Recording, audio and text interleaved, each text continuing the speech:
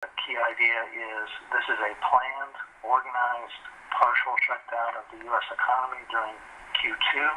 So I think it's inappropriate to call it a recession. You're, you're planning to do this and you're trying to do this in order to meet health objectives. It's a massive investment in public health.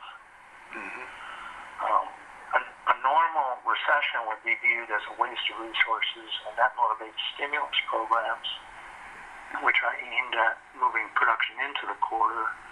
But here you're intentionally trying to keep production out of the quarter because uh, you want to battle the virus.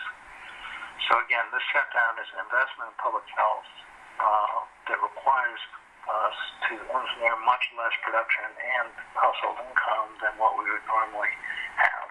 Some households get uh, get knocked out um, of a job, so we need to transfer income to disrupted uh, households, and for that, uh, we're recommending quite heavy use of the unemployment insurance program and calling it pandemic relief.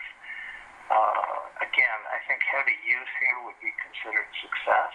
So uh, we're putting this initial number as of today at 30%. Uh, that's a 30% unemployment rate, but that would be considered good because you're transferring income to the households who are disrupted. I would also encourage. Um, You, you, think 30% of the labor force could be unemployed in the second quarter? Yeah, I think so. And that might be the right thing to do um, because you want to uh, keep everybody whole during the shutdown period.